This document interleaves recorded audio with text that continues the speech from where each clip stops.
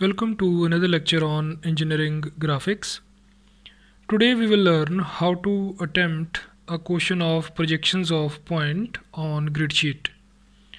So we will draw this question on the grid sheet.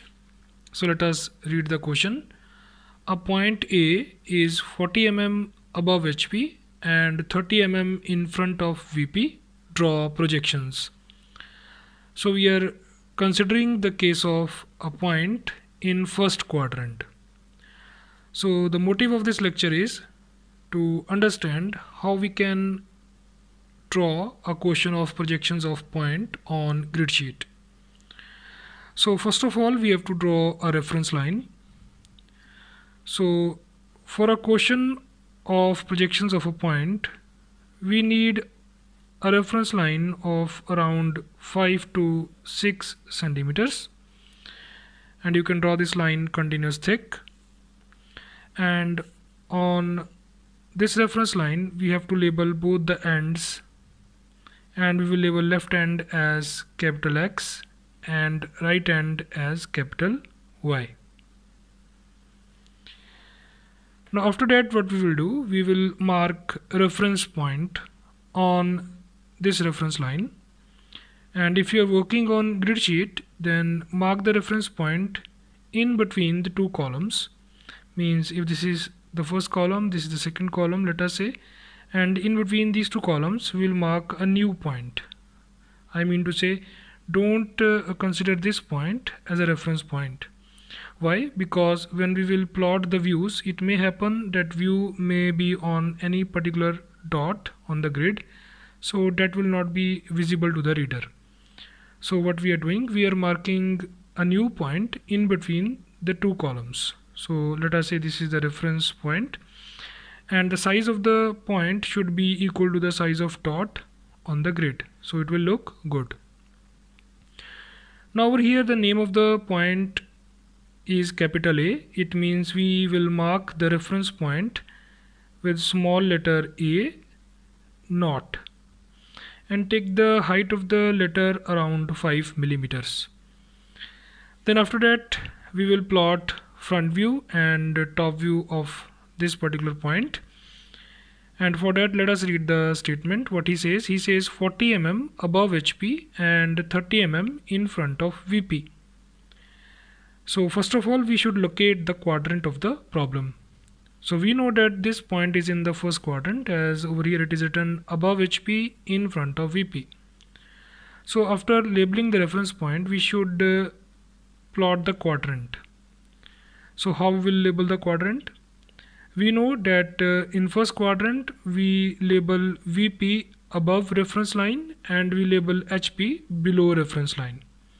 So over here above reference line in capital letters in Gothic style we will write VP and below reference line we will write in capital Gothic style HP and uh, consider height around 7 or 5 millimeters. And after that we will plot the first view. And let us read the statement again. He says 40 mm above HP and in the lecture we have learned that if some distance is given from HP we will plot that distance on VP so where is VP VP in this case is above the reference line because it is a first quadrant. So on VP we have to draw a vertical line of 40 millimeters and that will be a continuous thin line. And that line is called as projection line or projector and that should be perpendicular to the reference line so how to achieve that?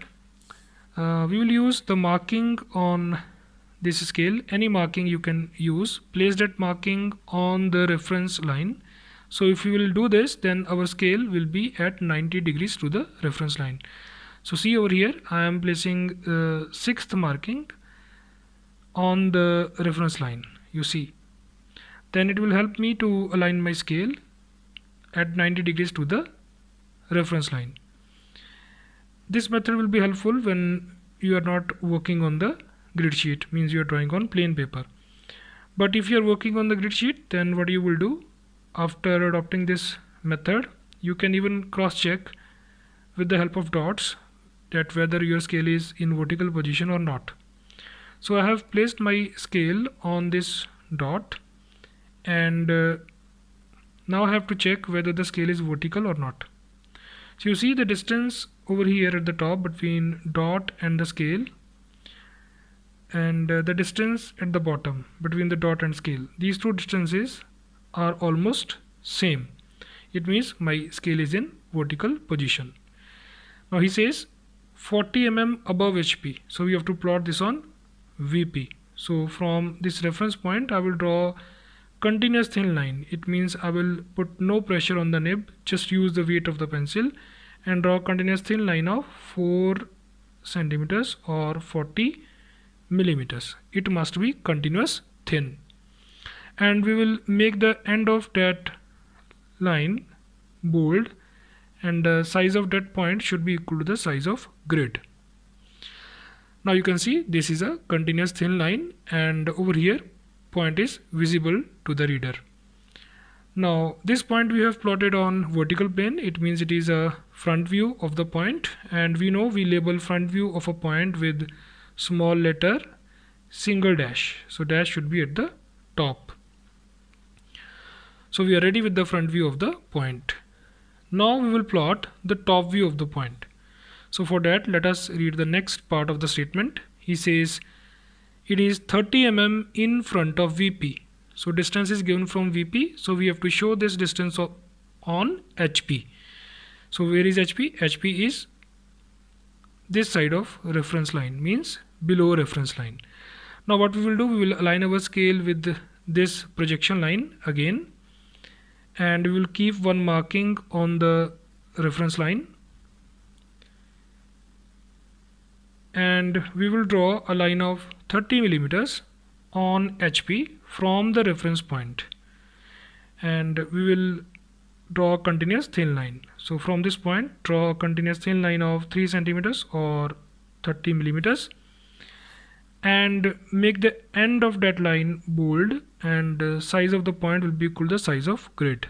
Now this is top view of point A. So we know that we label top view with small letter only. So now see the size of these letters is around 5 millimeter means the height of these letters is around 5 millimeters. Now after that we have to place dimensions. We are ready with the views of the point.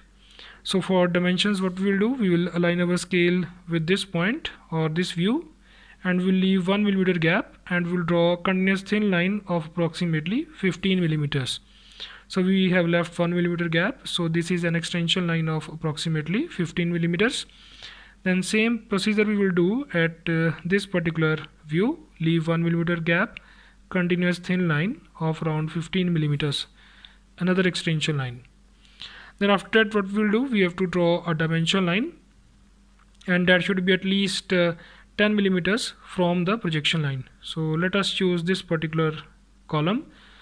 So it will help us to draw continuous thin line. And it is a vertical line. And we call this as a dimension line. So there are two dimension lines over here actually. This is the dimension line for 30 millimeters and this dimension line is for 40 millimeters. And after that what we will do? We will add closed field arrowheads on both sides of the dimension line this is the first dimension line and uh, arrowheads should be in 3 ratio 1 so similarly we will place arrowheads on the second dimension line as well closed field arrowheads in 3 ratio 1 now you see we have adopted chain dimensioning. After that we will follow aligned system means we will make dimensions readable from right side because in aligned system vertical dimensions are readable from right side of the page so over here in gothic style we will write 40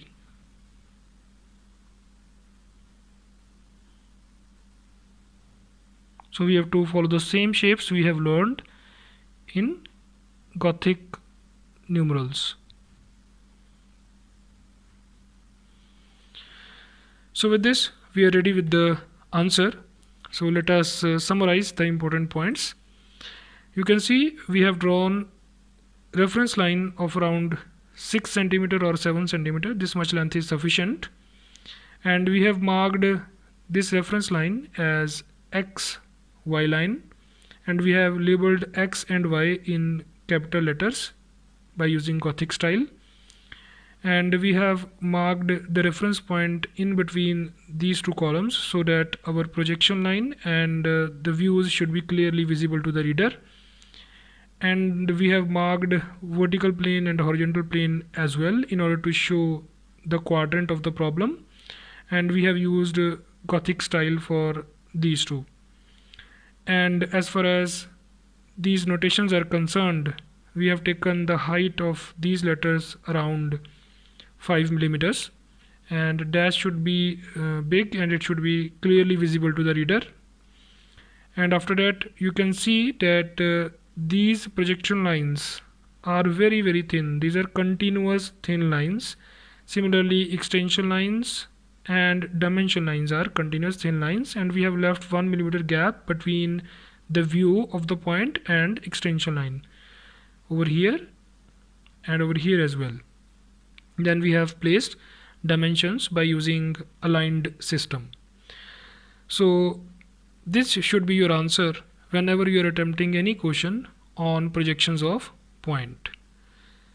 I hope uh, how to attempt a particular question on projections of point is clear to you. Thank you very much